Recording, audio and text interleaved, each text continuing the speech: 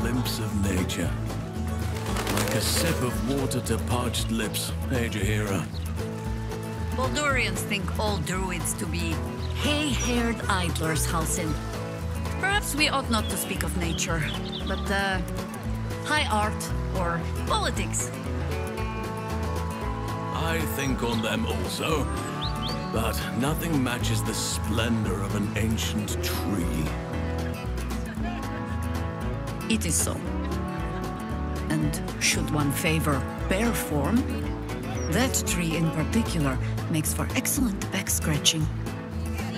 Beyond that gate is the upper city, housing the great and the good of Baldur's Gate. breeze must be blowing inland today. You yearn for Bringing a in the better stench class of of the company, foundry. Astarion? Belching smoke and metal screeches. Gods, who'd want to spend time with My anyone, arse. great or good? I have no love for the sea. But the city would not be what it is without these ships. That lends them a kind of beauty, I suppose. Indeed. There is no more impressive sight than a Githyanki spelljammer with its astral sails unfurled. maybe more. A sweeter sight still. The world those ships might make if you plied them between the planes. Interplanar learning, trade. Trade. Why stoop to barter when you have the power to take what you need?